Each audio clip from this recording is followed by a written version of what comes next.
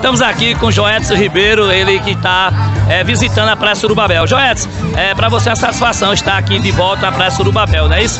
É isso. Muito tempo parada a praia por conta dessa doença. Graças a Deus agora a gente voltou com tudo. O pessoal está visitando, o pessoal da cidade círculo vizinha aqui está vindo para Rodelas e sejam bem-vindos à nossa cidade. Eu estou sentindo um clima bem gostoso aqui, a praia está bem gostosa, muda o cenário, mas a praia sempre fica nesse, nessa pegada. E praia afrodisíaca, praia gostosa demais para você estar juntinho aqui, para curtir com a família.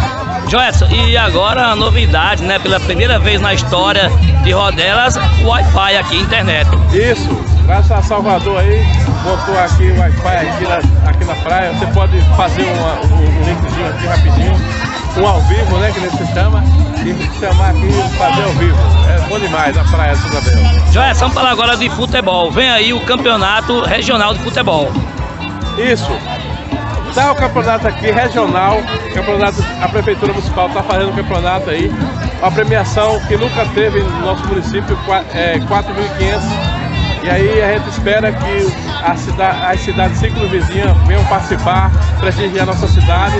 Vai ser sábado e domingo esse campeonato, sempre a gente conta com a participação de todos e dizer que a secretaria aí, junto Joyce, secretária, vai estar fazendo um grande campeonato. A gente espera a participação de todos.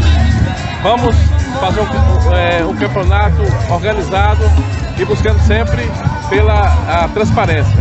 É, Joás, para terminar nossa entrevista, deixe suas considerações finais e fala um pouquinho aí da gestão do prefeito Emanuel Rodrigues. Ave Maria, falar de, do prefeito Emanuel é falar do irmão, a pessoa querida da nossa cidade, um grande gestor, organizado, cara que é preparado para estar tá assumindo esse cargo que é importante no nosso município.